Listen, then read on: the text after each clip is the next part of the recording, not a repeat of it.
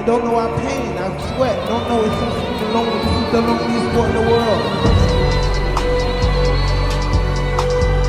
I haven't seen my kids in months. Do you think I give a damn about you and then y'all? I don't care about living and dying. I'm not no, I'm a dysfunctional motherfucker.